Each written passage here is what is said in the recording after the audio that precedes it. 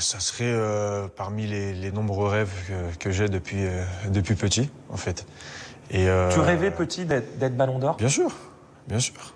De toute façon, mes, idoles, que ce soit R9 ou Zizou, sont venus au Real. je suis venu au Real, ils ont gagné le ballon d'or. Donc c'est des, des, petites, des petites choses à quoi je repense et qu'aujourd'hui, voilà, je ne suis, suis pas très loin.